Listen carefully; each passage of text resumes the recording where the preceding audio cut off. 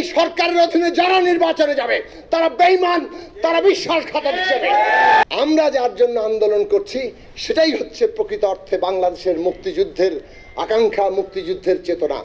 আর ওনারা মুক্তিযুদ্ধের চেতনার নামে জমিদারি কায়েম করে মুক্তিযুদ্ধের সবচেয়ে বড় অপমান তারা করছে। ফলে আওয়ামী লীগের হাতে মুক্তিযুদ্ধ এবং মুক্তিযুদ্ধের লক্ষ্য শহীদের যে রক্ত, তার অপমান আমরা হতে দিতে পারি না।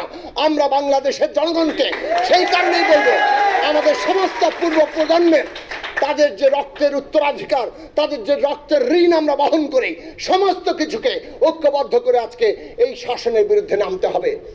পরিষ্কার করে বলি, ওরা বিভ্রান্তি তৈরির চেষ্টা করছে। বিএনপি শেষ পর্যন্ত নির্বাচনে চলে আসবে। কোনো সুযোগ নাই। এই সরকারের অধীনে যারা নির্বাচনে যাবে, তারা বেইমান তারা বিশ্বাসঘাতক হিসেবে। এবং এই সরকারের অধীনে জনগণ কোন নির্বাচন মানবে না। প্রতিরোধ করে বাংলাদেশে গণতন্ত্র প্রতিষ্ঠা করা হবে। তার জন্য আমাদের যদি জীবন দিতে হয়, সেই জায়গায় আমরা দেব। কেননা বাংলাদেশ একটা অস্তিত্বের হুমকির মধ্যে পড়েছে। আমরা যদি দেশে গণতন্ত্র প্রতিষ্ঠা করতে না পারি, তাহলে আমাদের দেশ যেভাবে জনগোষ্ঠী বিভক্ত হয়ে পড়ছে, যে আন্তর্জাতিক ভূ রাজনীতির সমীকরণের মধ্যে আমরা পড়ে গেছি, তাতে গণতন্ত্র ছাড়া এই দেশের মর্যাদা, এই দেশের সার্বভৌমত্ব আর কোনোভাবে আমরা রক্ষা করতে পারব না। কাজেই আজকে আমরা যে ভোটাধিকারের সংগ্রাম করছি, এই সংগ্রাম একদিকে আমার আপনার রুটি রুজির সংগ্রাম, এই সংগ্রাম নাগরিক হিসেবে এই দেশের মর্যাদা নিয়ে, স্বাধীন একটা মর্যাদা নিয়ে বাঁচার সংগ্রাম। এবং একই সাথে এই সংগ্রাম এই দেশকে সার্বভৌম বাংলাদেশের হিসাবে রক্ষা করার সংগ্রাম। কাজে এই সংগ্রাম, আরেকটি মুক্তি সংগ্রাম, সেই মুক্তি সংগ্রামের শহীদ হওয়ার মধ্যে গৌরব আছে।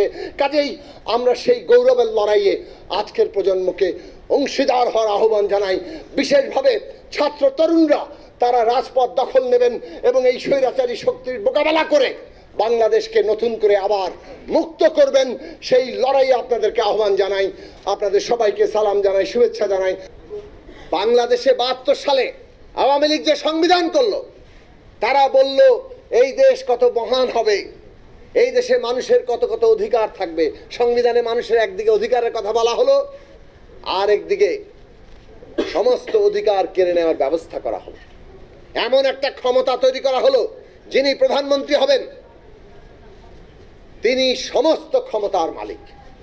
আগেকার দিনের সম্রাট কিংবা পৃথিবীর যে কোনো দেশের সরকার প্রধান, রাষ্ট্রপ্রধান, তার চাইতে ক্ষমতাশালী সরকার প্রধান হচ্ছে বাংলাদেশের প্রধানমন্ত্রী, সাংবিধানিকভাবে।